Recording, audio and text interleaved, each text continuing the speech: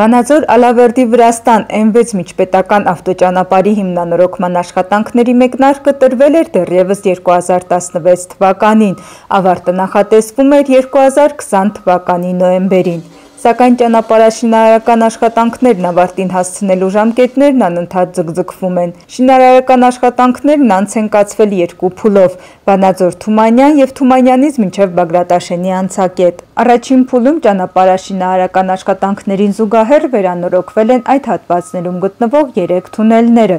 Իրականացվել է ժայռերի պայթեցում։ Ջրագծեր են փոխվել ճանապարհի առավել նեղ հատվածները լայնացնելու համար։ Նախագծում ավելացել է նաև Ալավերդու երկու կամուրջների հիմնանորոգումը։ Կամուրջը կարելի ասել ավարտված է, մնացել է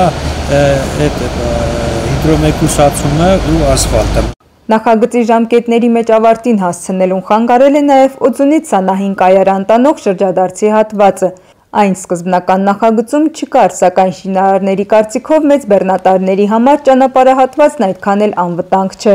Նախագիծը վերանայվել եւ փոփոխության է ենթարկվել։ Օձունի հանգույցի համար մշակվել է նոր նախագիծ, որը ենթադրում էր հարակից տների հողատարածքների օտարում։ Առանց օտարումների այդ հատվածում ըստ ներկայացված նախագծի աշխատանքները սկսել ուղղակի հնարավոր չէր։ Վանաձոր Բագրատաշեն ճանապարհի հիմնանորոգման աշխատանքները շարունակվում են արդեն 5 տարի, բայց վարորդները կարծես վերջը դեռ չեն տեսնում։ Որ ուրիշ բան չասենք, մենակ անվադողերը հերիք է։ Այսքան տարվա մեջին երևի մի 8 պակրիչ կա անվադող ես եմ փչացրել։ Ընենց եմ, ընենցա ցակում, քարը պատրում, կողքից տալի վերջ ճղով,